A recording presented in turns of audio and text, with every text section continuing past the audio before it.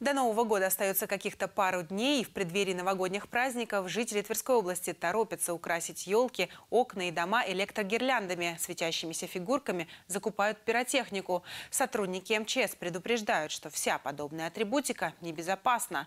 Электрогирлянда может стать причиной пожара, говорят спасатели.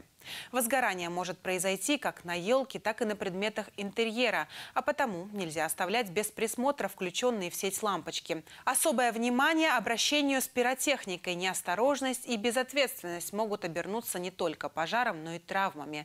Быть начеку нужно семьям, где есть маленькие дети. При возникновении чрезвычайной ситуации нужно незамедлительно звонить по номеру 39 99 99. Категорически запрещено пользоваться пиротехникой несовершеннолетним детям и подросткам. Ознакомиться с правилами пожарной безопасности в новогодние и рождественские дни можно на сайте Главного управления МЧС России по Тверской области.